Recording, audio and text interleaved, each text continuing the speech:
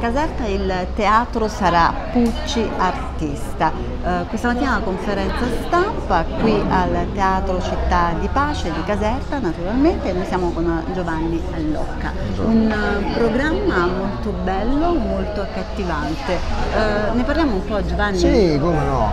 La rassegna Pucci Artista nasce appunto la, per la volontà di eh, dare alla popolazione di Caserta una, varietà di spettacoli, dal, dal, sociale, lo spettacolo comico, lo spettacolo musicale eh, lo spettacolo di danza, eh, anche il cabaret con il grandissimo Paolo Caiazzo, per cui eh, dare la possibilità di scegliere alla città eh, una serie di spettacoli ehm, divertenti, eh, commoventi, eh, insomma c'è di tutto, eh, possono scegliere veramente eh, cosa vedere.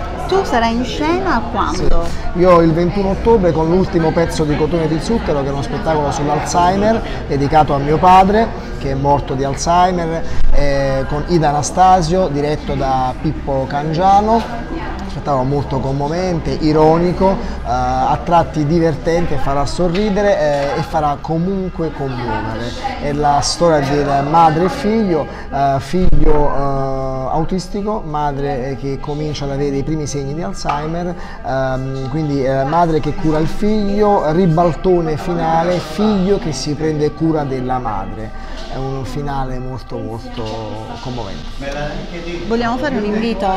Sì, come no, allora ehm, invitiamo tutta la popolazione di Caserta ehm, a, a, a, partecipare eh, perché il teatro è cultura, eh, abbiamo proposto dei prezzi molto molto accessibili, la possibilità di avere degli abbonamenti eh, molto accessibili a 10 spettacoli, eh, che dire, venite, seguiteci, c'è bisogno di voi.